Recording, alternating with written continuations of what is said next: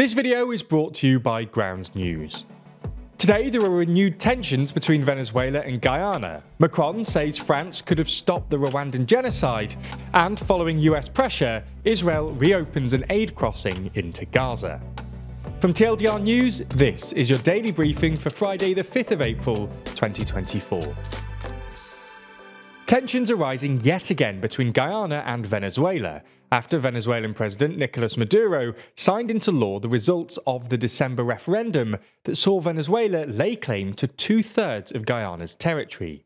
We've made a number of videos on this subject, but in short, the oil rich territory of Essequibo, which makes up two thirds of Guyana, has long been claimed by Venezuela, which asserts that the border was unfairly drawn up more than a century ago. In December, Venezuela held a referendum asking Venezuelans if they approved the incorporation of Essequibo into Venezuela, rejecting the International Court of Justice's jurisdiction, rejecting the existing border, and more. According to the government, more than 95% of voters said yes to the question.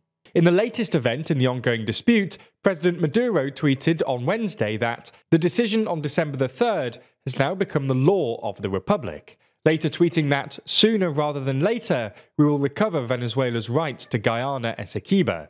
So I swear, and so it will be. The Guyanese government, which has vehemently rejected any claims by Venezuela to the territory, condemned Maduro's latest move, saying this attempt by Venezuela to annex more than two thirds of Guyana's sovereign territory and make it part of Venezuela is an egregious violation of the most fundamental principles of international law. Guyana's government also said if Venezuela wants to contest title to the territory in question, the proper forum is the International Court of Justice. For reference, Guyana took the question to the International Court of Justice in 2018, asking the judges to formally rule that the border, defined in 1899, is legitimate and binding. However, a ruling isn't expected before next year. There was an attempt to diffuse tension in the immediate aftermath of the referendum, with a meeting in mid December between Guyanese President Irfan Ali and his Venezuelan counterpart that saw the two agree not to use threats or force against each other. However, tensions seem to be on the rise again. It remains unclear exactly how Venezuela plans to actually exercise its proclaimed jurisdiction over Essequibo, though Venezuelan authorities have been accused of building up their military close to the border. Amid the territorial dispute, Guyana has sought to restructure and boost its military, while also increasing defence cooperation with its allies like the United States, France, and the United Kingdom. There's more on the way, but be sure to subscribe and ring the bell to make the daily briefing part of your daily routine, or just search for us on your podcast app to listen along. This Sunday, French President Emmanuel Macron will acknowledge France's failure to stop the Rwandan genocide on the 30th anniversary of the start of the disaster. In a video message to be published on social media, Macron will say France could have stopped the genocide with its Western and African allies, but that it did not have the will to do so.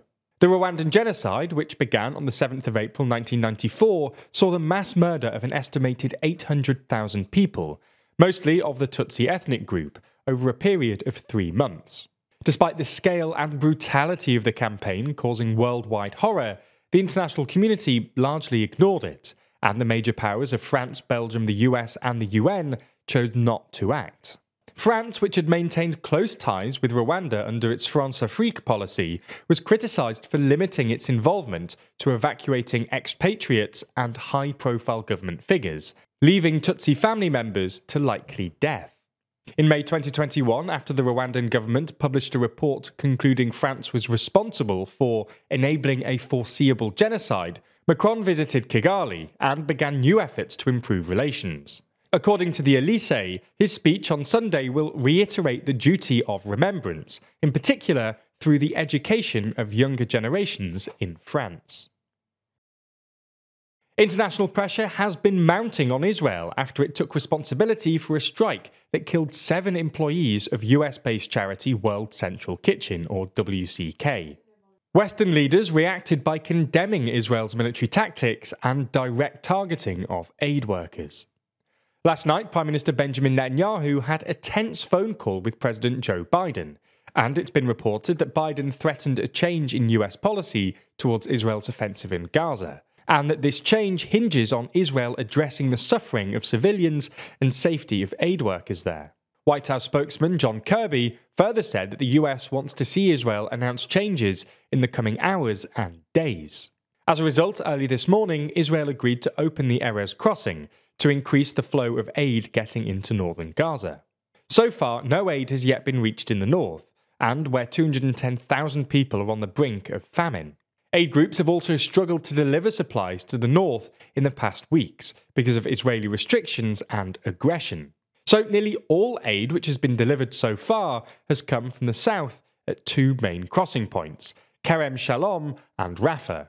Attempts by aid convoys to deliver aid from the south to the north have been unsuccessful so far, as routes are either damaged by Israeli bombardment or are blocked by the IDF. The office of the Israeli Prime Minister has said the Erez crossing will be temporarily reopened to prevent a humanitarian crisis and is necessary to ensure the continuation of the fighting and to achieve the goals of the war. On Thursday, the Danish military was forced to close one of the world's busiest shipping lanes, the Great Belt Strait, because of a risk of falling missile fragments, following the malfunctioning of a missile launcher during a naval exercise. The military said in a statement that during the exercise, the missile launcher had been activated and could not be deactivated, warning that until the booster is disabled, there is a risk that the missile could launch and fly several kilometres away. As such, the airspace and maritime area was closed down, with the danger area estimated to extend up to 5 to 7 kilometres from the Korsor naval base. After about six hours, the important waterway was reopened after military specialists investigated and established that the booster was not armed and that there was no longer a risk of the missile being launched.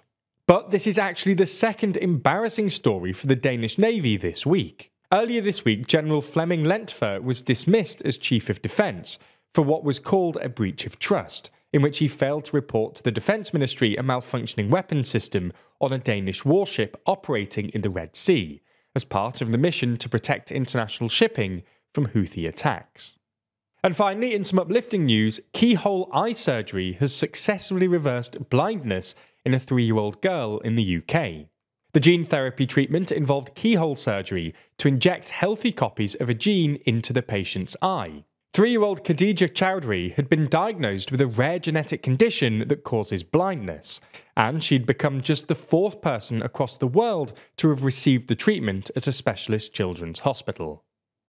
Now, Israel's reopening of the Erez crossing has been covered extensively by more than 130 news outlets across the political spectrum. 28% of the reporting is coming from the left, and 31% is coming from the right.